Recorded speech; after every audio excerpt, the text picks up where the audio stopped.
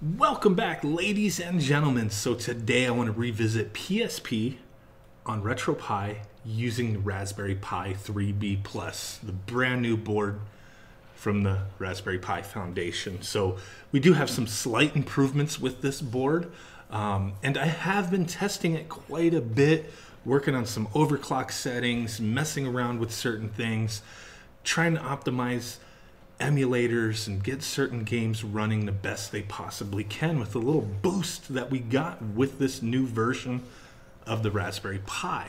So I just did a live stream the other day, just stock, not messing with anything, not overclocking, not um, optimizing anything with the emulators, just to see, just out of the box for just you know the average user who's just going to throw some games on there and start playing with the default emulators and whatnot um, what kind of performance would we get? And with PSP, it was pretty garbage, just being honest, pretty garbage. But going through and really messing with some stuff, um, I'm, I'm starting to be able to get some decent performance out of PSP. Dare I say, extremely playable on a lot of games. So today I just want to showcase Castlevania, the Dracula X Chronicles. Um, this is a game that typically is playable, but stutters a lot, has a lot of little issues and and things like that. So today what we are using is the PPSSPP emulator. Um, and I do have some certain settings, and I will share my settings with you very shortly. Um, what I'm doing though is, you know, game specific settings essentially because one game with this emulator you could have set one way, and then another game might suffer from that setting. Um, definitely, you could leave it at default and try to get just a general blanket of you know compatibility, but kind of defeats the purpose of being able to configure things. So today I wanted to showcase this and just show you some of the settings that I have for this particular game, which you can mimic for a lot of other games. And right now I do have up top, you see the FPS counter going and the speed percentage showing as well. Um, so that's something I'm trying to monitor, and you guys can kind of follow along.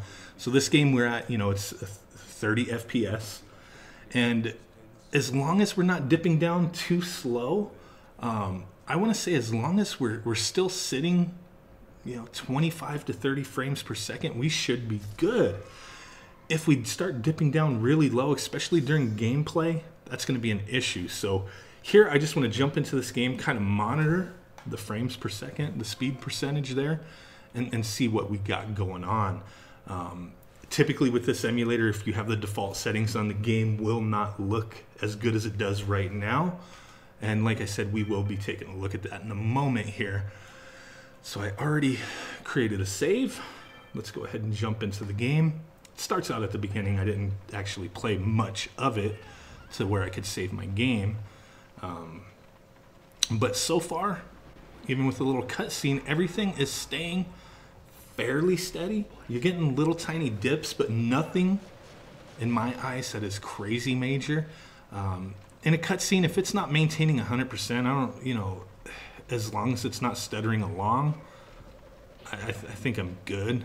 Uh, gameplay wise, I need to be as close to 100% as possible, um, full FPS and, and everything. If not, and I get too many stutters, it's just why am I going to game on this? Why am I going to play the game? I'm not going to bother. And that's what one of the biggest issues with uh, Nintendo 64. There's so many games that play, but they just don't play well. They stutter along. You get glitches and whatnot. And so far in this game, I am not getting too much in the way of any of that. I'm not getting any graphics glitches. Everything's pretty darn sharp. The sound is pretty much on point. Um, to me, it's looking very beautiful. So obviously, I do have some settings going on um, to be able to have the game look this way. PSP had, you know, very, you know, a, a real crappy uh, resolution. Um, if I recall, it's like 480 by, I mean, not crappy necessarily, 480 by like two something. I don't, I don't remember. 272, uh, something like that. Could have been. Let me, let me double check for that. Um, 480 by 272, exactly.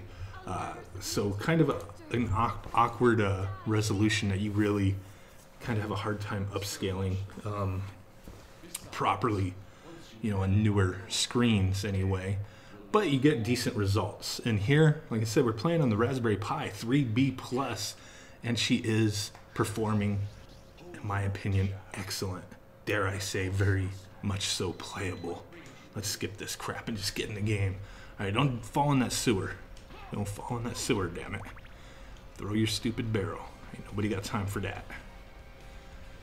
But just keep keep an eye on that uh, the FPS. This game, like I said, it has been decently playable in the past, um, but you would get a lot more in the way of uh, dips within the game. Um, you know, stuttering, very noticeable stuttering. And in, in this, at least on my monitor, I can't speak for the video processing of YouTube if you know that's going to affect this in any way. Um, you know, I am recording and uploading at the uh, the best possible speed and resolution that I can uh, with the setup that I got, so we should be fine. But for me, on my screen, it is looking great. It is performing excellent. Very awesome, very awesome game. Um, in the future, we will be testing out a lot more games with this. I definitely want to try to get game-specific configurations for PSP um, because there's a ton. There's just so many damn PSP games that are amazing. Let me get this guy. Shouldn't be having this this much of a problem with this dude. Why am I jumping right on him? There we go. Oh. Taking those hits, man. Taking those hits. So far, I mean, every time I'm kind of glancing up at the FPS, we're sitting at, you know, 26 to 30, uh, you know, 100%, you know, in the 100% range. So I, I think with this game, I'm pretty good with the settings that I have for it. Um, I am just, like I said, saving the settings per individual game. And this is working out great for me. So definitely I'm going to share that with you guys. I'm going to show you in a moment what the settings are for this game. Now that I died, I might as well jump into that right now for you guys. So remember, this is uh, PPSSPP. This is not the Libretro um, core version. So here we go. Game settings. Let's just kind of go through real quick and I'll show you, you know, a lot of things are default, but some things I did change up a little bit. Like I said, it can be game specific. So not necessarily one setting is going to be the end all be all for all games. Um, even on a PC, you know, you might have to tweak certain things for some games, but you will definitely have a better time um, with default settings on a decently powered PC or, you know, whatnot. On a Raspberry Pi, not so much. You're going to have to tweak around with this thing. You're going to have to adjust. You're going to have to to to you know find those settings that work for you. Is it worth it? If you like PSP, then hell yes, it's worth it. So let's just go through this real quick and just so you can note and kind of try to mimic the settings that I have.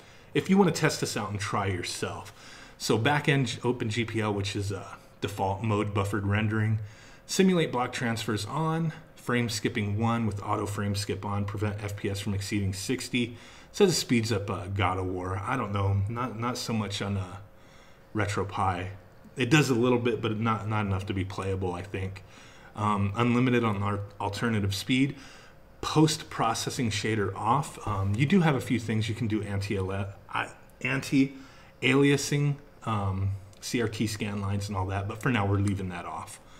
Um, but there are some options there that could affect gameplay, could not. Just, you know, it all depends um, on some of your other settings. Full screen on, rendering resolution we have two times, hard hardware transform on, software skinning on, vertex cache on, lazy texture caching, which speed up is on, uh, retain change textures is off, disable slower textures or slower effects, my bad, is on Spline Bezier curves quality is on low right now. Some games um, you need to have that on high. Uh, you can have it on medium.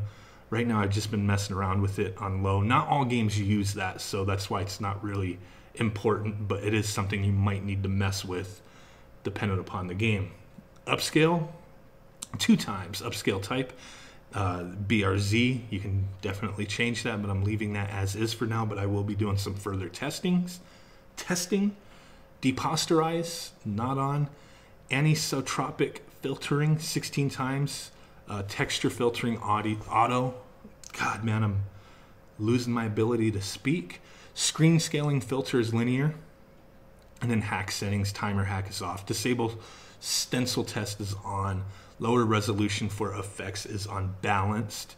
Um, and then we have, like I said, the show FPS counter um, with the speed percentage as well. Um, so pretty good stuff. As far as anything else, whoa, swine alert. Thanks for the subscription. Should have turned that off before I started recording, but hey, bro, Caesar Morales, I believe is what it said. Appreciate the subscription, man. But yeah, so far I've not messed with anything else other than you know making sure my controls work to my liking, obviously. But graphics was the the biggest uh, issue for me, um, making sure everything was working properly in that regard. Um, and for this particular game and a handful others that I have tested, I am getting awesome results out of, and I am very pleased for sure. Do I think we'll get 100% um, with every game? No, not not on this this board. Um, a future revision of the Raspberry Pi, maybe. You know, if we get some more RAM and, and you know a better CPU for sure. Um, in the current state right now, the 3B Plus, I can only really recommend this board um, if you're going to buy a Raspberry Pi anyway.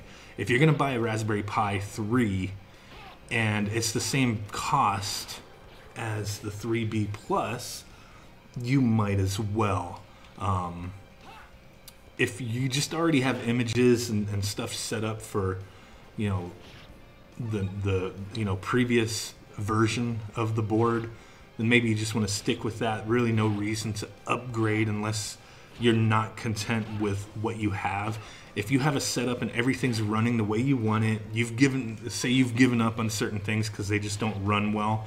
Is this board going to magically make all that run perfect? No, no, it's not. There's a ton of optimizations that need to be done, and a lot of it is just going to be based on the emulator. Um, not even as much of the stuff that you can optimize. With PSP, it's just you know it, it's it's going to be the system, you know, system reliant on the board that we're using and the optimizations that are available through the emulator. And we have some decent you know options here to to change things up to get better performance, but it's not going to fix every issue on the PSP. But a lot of the games that to me were unplayable previously um, because they were dipping down way too low, for me, I'm, I'm getting a, a, slightly better performance because um, I'm very nitpicky with that kind of thing. If I have just a few too many stutters, I'm giving up. I'm done. I don't want to play it. It's just not enjoyable for me. Uh, but for me, for this game, I could never play this uh, before. It just never ran as well as it is now for me um, with this particular emulator, with these particular settings, and on this particular board.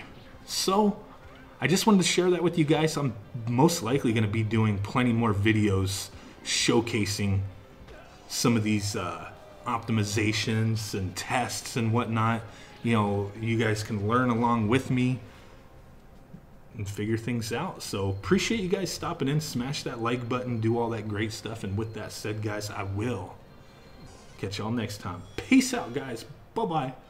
Boom. Stage clear.